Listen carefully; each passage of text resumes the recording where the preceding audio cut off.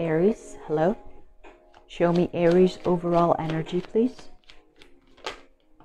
We have the Eight of Pentacles. Ooh.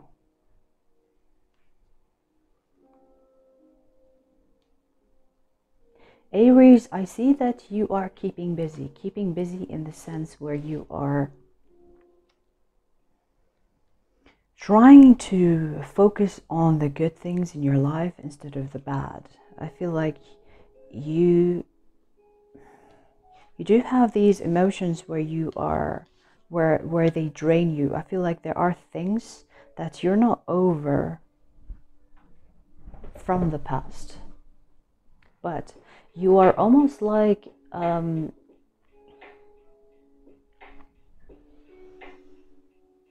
maintaining that's the word maintaining your strength trying to increase your strength to focus on the good things in life instead of the bad. And i see you focusing on that working towards the good things and improving the good things in your life instead of dwelling on emotions that you cannot get over or you know you, you're trying to avoid to deal with those emotions or thoughts, I shall say, because there are invasive thoughts here, but you are trying not to allow it to get the best of you, and you are trying to focus on the good things in life instead of the bad.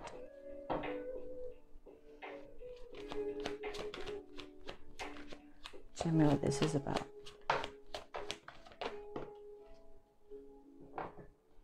The strength is here again you have a lot of things to be thankful for, Aries.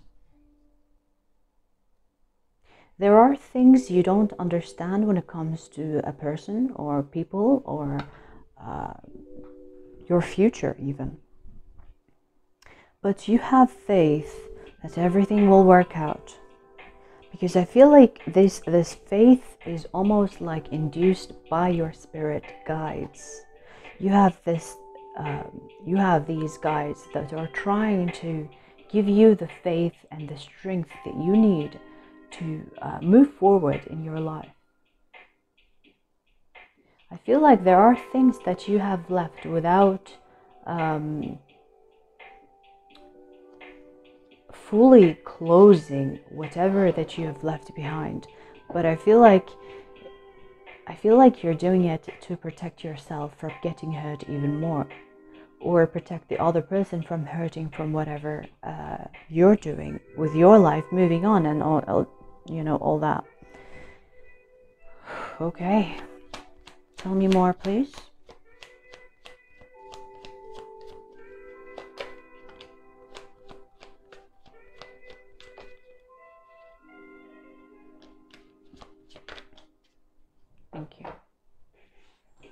Let's see. Wow. Wow. Wow, you are owning your fucking place in the world or in the universe. You are owning it. I feel like you you can be perceived as um, as cold hearted, but you're not like that. You are actually focusing on the things that make you feel good. You are full you are full of love, but you are almost like putting that love into a practical practice. Does that make sense? So I feel like whatever whatever motivates you, whatever puts you you know, whatever keeps your fire burning, I feel like you are focusing on that. You have the freaking Wheel of Fortune and the Empress. Everything that you are, you are focusing on. You are not allowing any distractions to come through and disrupt the progress that you are going through. And also, this is your calling. You are guided to do so.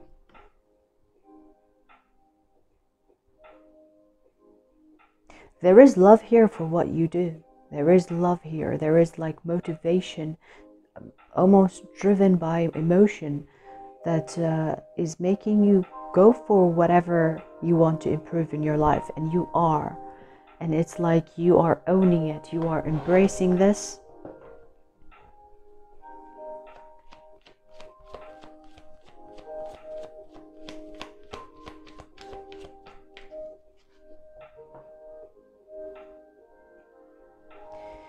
Tell me where this is going.